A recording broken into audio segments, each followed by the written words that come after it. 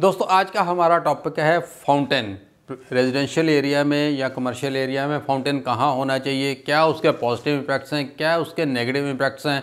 अगर गलत डायरेक्शंस के अंदर हैं तो उसके लिए क्या सॉल्यूशन हो सकते हैं? डिटेल्ड में बात करते हैं इस टॉपिक के ऊपर. नमस्कार, मैं आपका वास्तु कंसल्टेंट दीपक कुमार सैनी। तो चलिए स्टार्ट करते हैं वीडियो को। सबसे पहले हम बात करेंगे कि चाहे रेजिडेंशियल प्रॉपर्टी हो, चाहे कमर्शियल प्रॉपर्टी हो, वहाँ पर बेस्ट डायरेक्शंस क्या हैं फाउंटेन को लगाने की।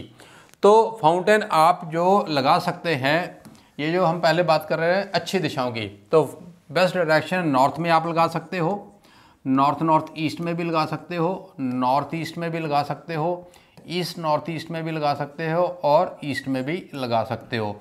तो ये सिर्फ़ इतनी डायरेक्शंस हैं जिसके अंदर आपको फाउंटेन आप लगा सकते हो, ये तो होगी बहुत ही बढ़िया। इसके अलावा भी थोड़ा सा एरिया आपको और मिल जाता है। नॉर्थ नॉर्थ वेस्ट में भी आप लगा सकते हो और नॉर्थ वेस्ट में भी आप लगा सकते हो। तो ये बेस्ट डायरेक्शन हो गई आपके पास। टोटल बेस्ट डायरेक्शन ये हैं। इसके बाद आपको फाउंटेन नहीं यूज़ करना चाहिए। सिर्फ़ इन डायरेक्शन के अंदर ही फाउंटेन लगाना बहुत ही अच्छा है। और अगर आपके फाउंटेन्स इन्हीं डायरेक्शंस में हैं तो इनके क्या पॉजिटिव इम्पैक्ट्स होते हैं? चलिए इसके बारे में जानते हैं। तो इसके पॉजिटिव इम्पैक्ट जो है, अगर इन डायरेक्शंस के अंदर हैं और यहाँ से लेके यहाँ तक हैं तो जैसे कि हम जानते हैं वास्तु के अंदर ये एरिया वाटर एलिमेंट होता है। वाटर एलिमेंट हमारे पाँच तत्व होते हैं तो फाइव एलिमेंट्स में एक एलिमेंट है वाटर एलिमेंट और ये वाटर एलिमेंट जो है फाउंटेन लगाने से बैलेंस होता है। तो यहाँ पर फाउंटेन लगाने का मीनिंग क्या होता है? क्यों लगाते हैं? पहले ये भी हमें समझना पड़ेगा। फाउंटेन लगाने से एक्चुअली होता क्या है? फाउंटन लगाते हैं जब उसका पानी जब सर्कुलेट होता है तो एनर्जी फ्लो करती है। पॉजिटिव एनर्जी फ्लो करती है, क्योंकि हम बेस्ट डायरेक्शंस के अंदर लगाते हैं। तो पॉजिटिव एनर्जी जब फ्लो करती है तो वो पूरे घर में उसके बाद फ्लो कर देती है। एक रोटेशन स्टार्ट हो जाता है। तो वो पूरे घर में जब पॉजिटिव एनर्जी फ्लो करती है तो आदमी के अंदर, पूरे परिवार के अंदर वो पॉजिटिव एनर्जी के साथ साथ पॉजिटिव थाट्स आना शुरू हो जाते हैं।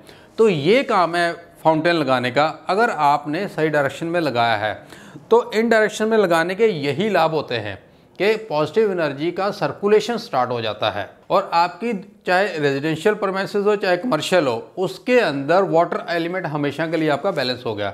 तो ये सबसे बड़ा पॉजिटिव इम्पैक्ट है इसका। तो इस बात को आपको ध्यान रखना होगा। अब हम जानेंगे कि इसकी गलत डायरेक्शंस क्या हैं। कहाँ कहाँ फाउंटेन नहीं लगाना चाहिए।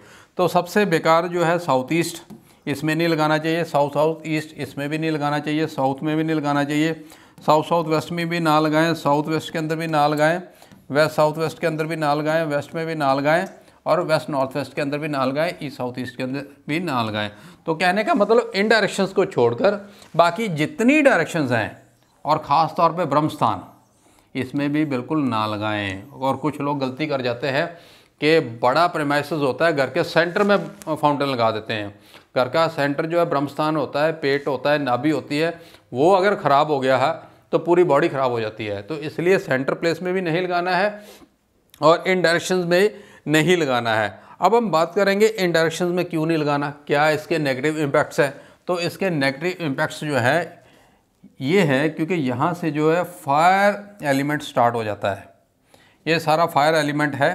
तो आग और पानी आप यहाँ इकट्ठे कर दोगे। हम, मैं ये कह रहा हूँ कि वास्तु के अंदर जैसे वहाँ पर वाटर एलिमेंट था तो ये फायर एलिमेंट है।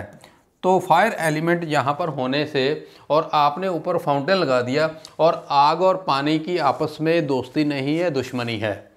तो जब आप दोनों एलिमेंट इकट्ठे कर दोगे तो वहाँ क्या होगा? ब्लास्ट होगा।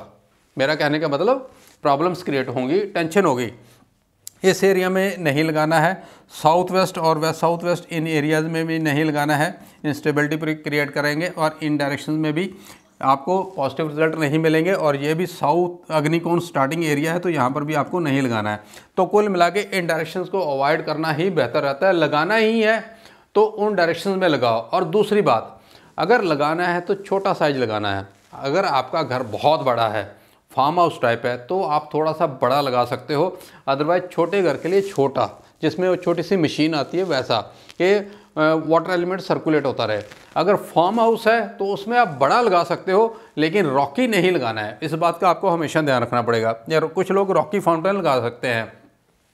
अगर आपने गलत फाउंटेन लगा लिया है, अग्नि कोण के अंदर लगा लिया है साउथ में लगा लिया है साउथ साउथ ईस्ट में लगा लिया है साउथ एग्जैक्ट साउथ में लगा लिया गलत डायरेक्शंस के अंदर आपने लगा लिया है।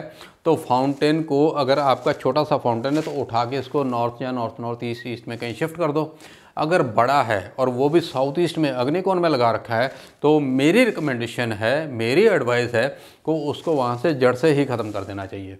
बड़ा फाउंटेन है प्रॉपर्टी बड़ी है तो उसको वहाँ से हटाना ही चाहिए। अगर आप इनकेस नहीं हटा सकते तो इमीजिएटली उसको यूज़ करना बंद कर देना चाहिए। पानी का फ्लो वहाँ नहीं होना चाहिए। पानी बिल्कुल ख़त्म कर देना चाहिए। क्योंकि कई बार कमर्शियल प्रॉपर्टीज़ कुछ ऐसी होती हैं, जैसे होटल है और हॉस्पिटल है, उसके वहाँ पर भी फाउंटेन लगा होता है। अगर वो गलत डायरेक्शन के अंदर हैं और वास्तु फॉलो करना चाहते हैं तो उनको कम से कम अगर हटा नहीं सकते तो उसको वाटर यूज़ करना बंद कर दें, उससे भी उनको राहत मिलेगी। अदरवाइज़ उनको बहुत सारी प्रॉब्लम्स को फेस करना पड़ सकता है। और दोस्तों, उम्मीद करता हूँ ये वीडियो आपको अच्छी लगी होगी। मेरे द्वारा दी गई जानकारी आपको पसंद आई होगी। अगर आपको अच्छी लगी है तो आप अपने नियर एंड डियर्स को इसको फॉरवर्ड करें। उनके तक भी ये इन्फॉर्मेशन पहुँचे, जिसका फ़ायदा हो सकता है, वो ज़रूर करना चाहिए। और अगर आप मेरे चैनल पर नए हैं तो लाइक करें और सब्सक्राइब करें। मिलते हैं नई वीडियो के साथ, नए टॉपिक के साथ। तब तक के लिए धन्यवाद।